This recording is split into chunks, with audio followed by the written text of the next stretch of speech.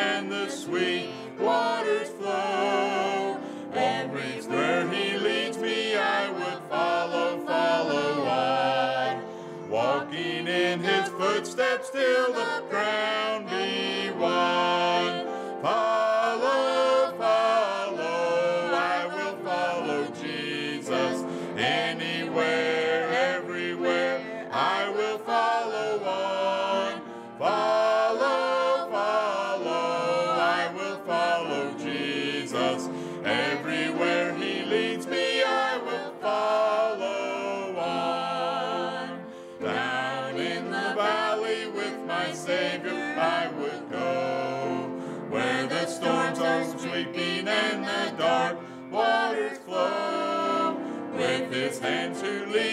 I will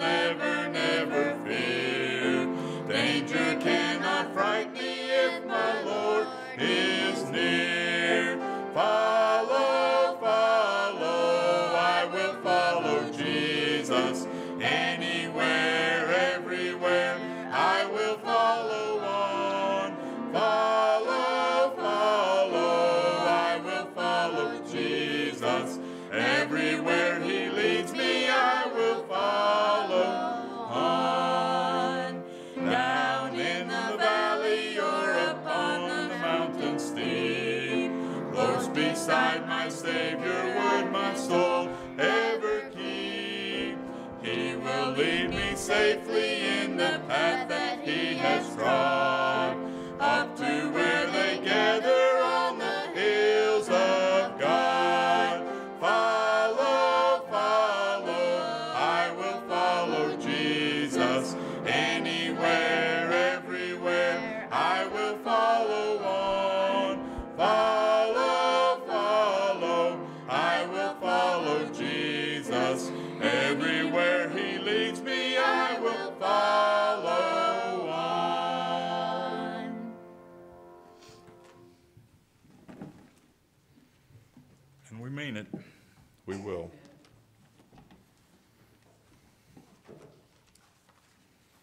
Thank you, Marky, for playing. So, how do we deal with a service like today? What do we say, or more importantly, not say? Do we just reminisce over the good times? And you know they've been good times. Or do we preach a gospel message and if anybody was here that needed it, give them one more chance? Should we have had us inspiration and, and sing, just sing good songs or a special speaker? So, what do we do? Well, thankfully, I had a good counselor to ask. And I believe he gave me what we need to do. Our text is going to be Psalms 119, verse 105. Psalms 119, verse 105. But while you're turning, I've been trying to think what Sunday night it was. And I think it was the Sunday night when I said you all could vote on us. We were standing back there, kind of back behind where Mason is sitting. And I was talking about Nehemiah 8 8. And I said, if I'm going to if I'm to preach and if I'm going to attempt to follow what I believe the Holy Ghost is leading us to do, I want it to be like Nehemiah 8 8. And the verse says, So they read in the book in the law of God distinctly, and gave the sense, and caused them to understand the reading. In my Bible, I've underlined that verse in red, and beside it I've written, quote, If I'm going to preach, let it be like this, end quote. Now, whether or not I've attained that goal, y'all can discuss among yourselves later. But there's simply, there's something about simply using God's word in context, in letter, and in spirit that will lead us along our journey, and it'll do it well. And the psalmist surely must have known this, for in verse 105 of Psalms 119 he said, Thy word is a lamp unto my feet and a light unto my path. A lamp for my feet, light for the present the current need. It doesn't illuminate anything but where I currently stand. A little pin light just right here. Imagine walking into a cave. Does anybody here do caving, spelunking? Evan, do you crawl back in caves? Can't say I blame you. Ellie went in one this week. I didn't go. They told me how steep it was to get down to it, and I chickened out. I didn't feel like going down wouldn't have been the problem. Coming back would have been the issue. But apparently, it was an amazing cave. Waterfalls and a creek that was about chest deep, they said, and said the water was quite cold and really a, a neat cave. But imagine going in a cave, and as you're going in, ahead of you is total darkness. You cannot see anything. And so you're to you're going to want a light for my feet. Am I going to step in a puddle? Am I going to step off a cliff? Am I going to stub my toe on a stalagmite? Am I going to trip over a sleeping Bigfoot? I mean, what am I fixing to do? And so I want a light right here in front of me. For this step, a light. And the next step, a light. A hundred feet of me is irrelevant. I need a lamp for my feet. And you know, that's the way it's going to be with this congregation in the days and weeks ahead, with or without a pastor. Decisions are going to be made, steps are going to be taken, and then another, and another, and another. What should I do today? Right now. What do I need to do right now? And God's Word will be there to guide us and to show us the next step. And so, step by step, we've walked into this cave and this cavern, but now turn around.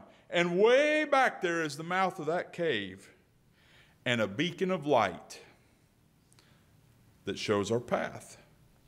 Oh, we'll probably still want our steps lit, but the path, the direction is now lit up. Our long range goal, our trajectory has been set. That what's on the fringes is now insignificant because there's a light for our path. Again, that's how it's going to be with this church. What is the trajectory? The long range goals. Well, God's Word will give it to us. He'll show us where we're headed, for good or for bad.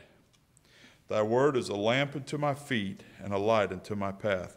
You say, Nathan, is it really that important to know God's word? Last Thursday, a week ago, Heidi's grandpa had COVID and it had gone, was it double pneumonia? And his lungs, he could not breathe. They needed to put him on a, um, respirator, ventilator. And the doctor said, if I put you on that respirator, you will die. I will not be able to take you off. So he was on a bypass machine, and, and Heidi's uncle Jeff told the doctor, he'd been Lyle's doctor for many, many years. He said, I need to know what's up. And the doctor said, his lungs are really bad. And Jeff is kind of a black and white, blunt, outspoken fellow, and he said, I know that. I need to know what is the future? Will he get better? And the doctor said, No, he will die in this hospital. He will not go home. He said, That's what I needed to know. Lyle was still with it, mind still sharp. And Jeff said, Dad, in just a little while, you're going to be with Jesus. You are dying. He knew it. He knew he was dying. And so on Thursday, he couldn't talk. His lungs were full of whatever, would not work. He could not talk. The family would call, and one by one, all the siblings that couldn't get to the hospital would call, and they used FaceTime so they were able to look at him and him them and, and talk. And they said his heart rate was running about 50. And when June called, his face lit up and his heart rate doubled, run up to 100. Next month would be 65 years they were married. So he was with it, and he knew he was dying. He knew he was dying. It wasn't a abstract someday. It wasn't a I'm 10 years old, I'll die in 80 or 90 years business. It was I'm dying, presently dying. And Heidi's cousin Lee called, and he's a pianist and a good pianist. And, and so he sat at the piano and set the phone right here. And he said, Grandpa, what would you like me to play? And the songbook is full of good songs. But do you know what the first song Grandpa Lyle wanted to hear was the B I B L E. Of all the songs he could have picked, it was the B I B L E. Yes, that's the book for me. I stand alone on the Word of God, the B I B L E. And so they sang a while. They sang Victory in Jesus and In the Garden. And Jeff said, Dad could not talk, but he sang. He said, It takes more air to sing than talk. Go figure.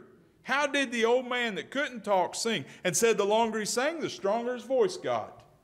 And they sang victory in Jesus, and they sang in the garden, He walks with me and He talks with me. And the guy is dying and knows it. And Lee told at the funeral, the last thing I heard my grandpa say, the last thing I heard my grandpa say was when they sang, played this song, and he sang, All the way my Savior leads me. Oh, the fullness of his love. Perfect rest to me is promised in my Father's house above. When my spirit clothed immortal wings his flight to realms of day, this my song through endless ages, Jesus led me all the way. This my song through endless ages, Jesus led me all the way. You say, Nathan, is God's word really that important? And on the authority of Scripture and on the, on the testimony of Grandpa Kimball, I say, yes, it is. It is that important. Why is it that important? Paul told Timothy, and I've got lots of references here, so as I turn, you'll have to bear with me. In 2 Timothy chapter 3, he said, All scripture is given by inspiration of God and is profitable for doctrine, for reproof, for correction, for instruction in righteousness, that the man of God may be perfect, thoroughly furnished unto all good works. Why is it important? Because it is of divine origin. You see, John chapter 1 tells us that in the beginning, if I can find it, I may just have to quote it. In the beginning, was the Word, and the Word was with God, and the Word was God. Verse 14 said, And the Word was made flesh and dwelt among us, and we beheld his glory, the glory as of the only begotten of the Father, full of grace and truth. Why is the Word important? It's of divine origin. It's the same as Jesus. It's the thoughts of God. He gave them to us. You see, there was a time when the Word was rare it wasn't common, it wasn't for all. 1 Samuel chapter 3 verse 1 says and the child Samuel ministered unto the Lord before Eli and the word of the Lord was precious in those days there was no open vision it was rare it wasn't like today when there's Bibles well there's Bibles one right in front of Jack that it looks like was given to a boy in 06 and he never reads it I mean, they're common. People don't even need to take them home to read them, they've got so many at the house. But although it was rare, it still had value.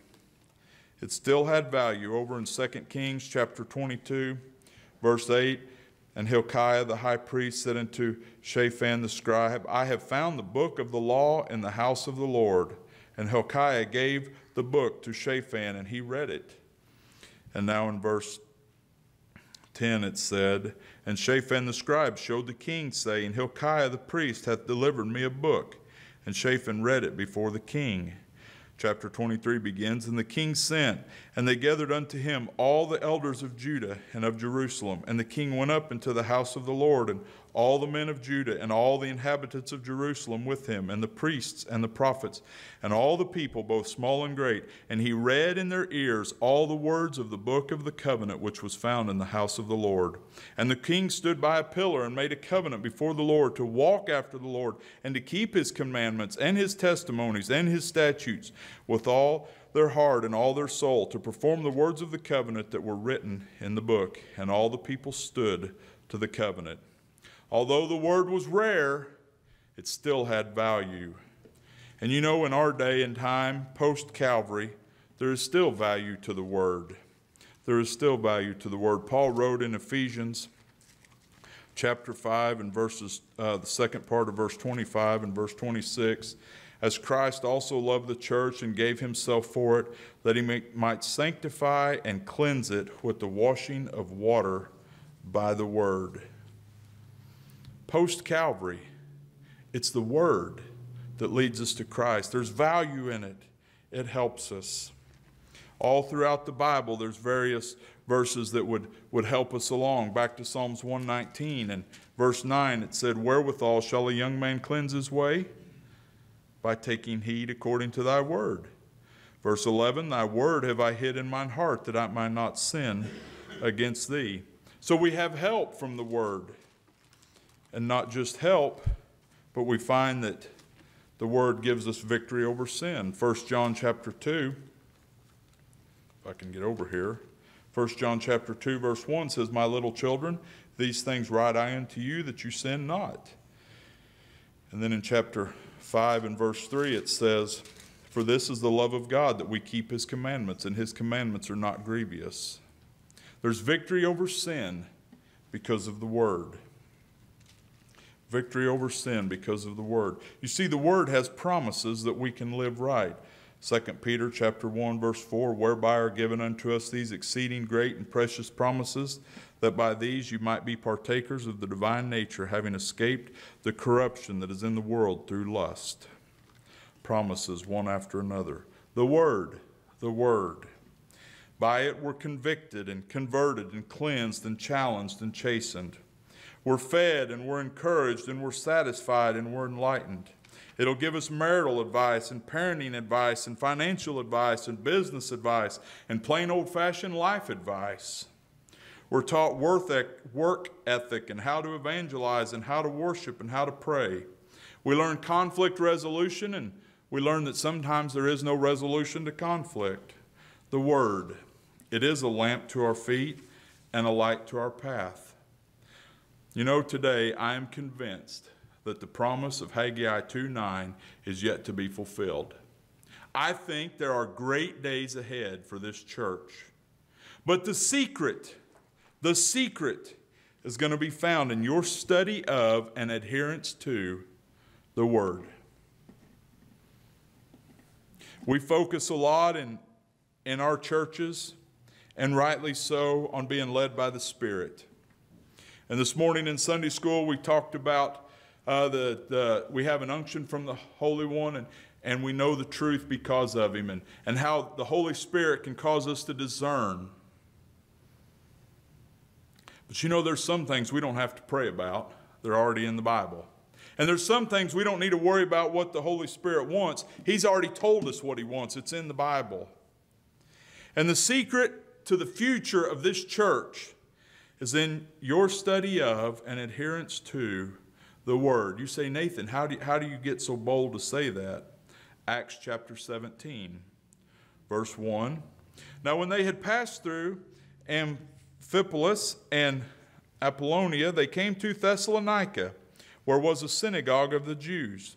And Paul, as his manner was, went in unto them, and three Sabbath days reasoned with them out of the Scripture, opening and alleging that Christ must needs have suffered and risen again from the dead, and that this Jesus whom I preach unto you is Christ. And some of them believed and consorted with Paul and Silas, and of the devout Greeks a great multitude, and of the chief women not a few. Dropping now to verse 10. And the brethren immediately sent away Paul and Silas by night unto Berea, who coming thither went into the synagogue of the Jews. These were more noble than those in Thessalonica, in that they received the word with all readiness of mind and searched the scriptures daily whether those things were so. Therefore, many of them believed, also of honorable women, which were Greeks, and of men, not a few. Those at Thessalonica didn't look at Scripture, they didn't read their Bible every day, and only some believed. Oh, yes, it talks about the Greeks and some of the chief women. But when he went to Berea, the Bible says many believed. And what was the difference of the quantity of the church growth? Nothing more than their desire for and appetite of the Word. They read it, they studied it, they searched it daily. Daily. Why? Because they knew that thy word is a lamp unto my feet and a light unto my path. It's got the secrets that we need for the path ahead. Let's stand.